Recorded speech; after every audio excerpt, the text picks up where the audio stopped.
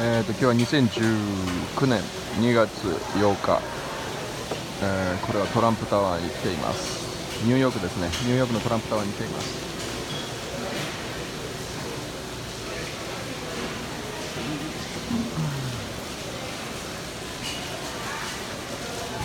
えー、とね今今僕映ってるかもしれませんあのーこれは全部ゴールドでできてます。ゴールドってまあもちろん純金ではありませんけど色が。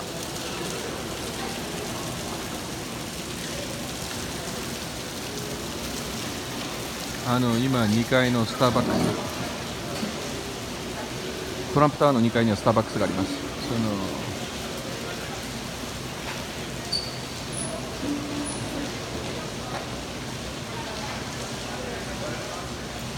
2階のターバックスでコーヒーを飲んでいます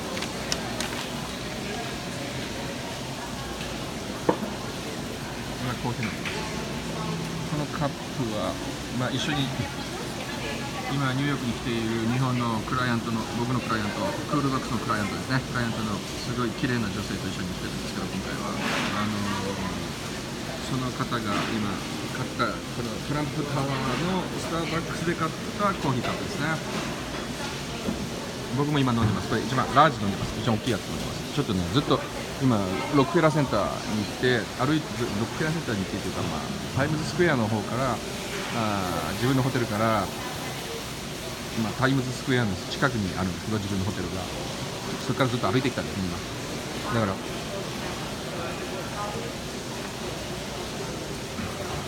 ちょっと喉が渇いたので ラージを注文しました。スターバックスのコーヒーってこういうなんかごくごくごくスポーツドリンクみたいにして飲むものなんでしょうかね。ちょっとねすっごい歩いたのでえーと今休憩してます。ここで。トランプタワーのスターバックス。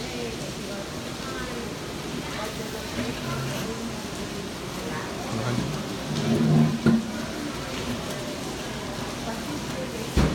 こんな感じだちょっとこんな感じが絵的に。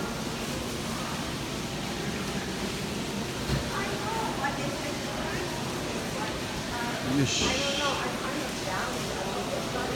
まあ後でまた外からトランプタワー撮りますね。中はもう本当ね全部満金金なんですよゴールドで。